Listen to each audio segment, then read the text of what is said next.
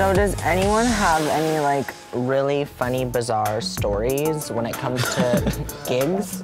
Any Oh, like I have my first time in drag uh, Ooh, story. Let's hear that. When I was in first year of university, I was like, I love theater and I love makeup, so why not just like, you Do know, drag. do drag, try drag it, you know? And Priyanka was host hosting an open stage, and I was like, you know what, let's give it a try.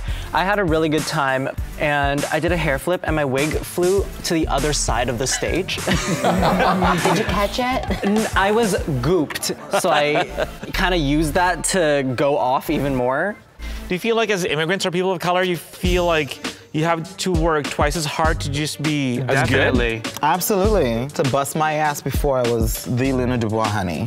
When I first started, I had to work twice as hard as the next white girl that started at the same time that I did. And like, you know, to make a name for myself. Like, you know, it kind of gets to you a bit. Thank God I got to a place where, like, you know, I am a household name. Honestly, it makes you a fiercer performer. It makes you stronger. It made me the queen that I am today. It's the reason I'm here sitting down in this chair right now.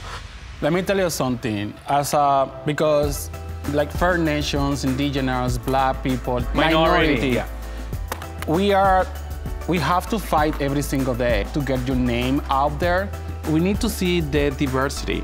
Start booking First Nations, immigrants, Latinos, Caribbean. I really hope like we can make big change about it. I used to be the only black queen in Ottawa performing regularly.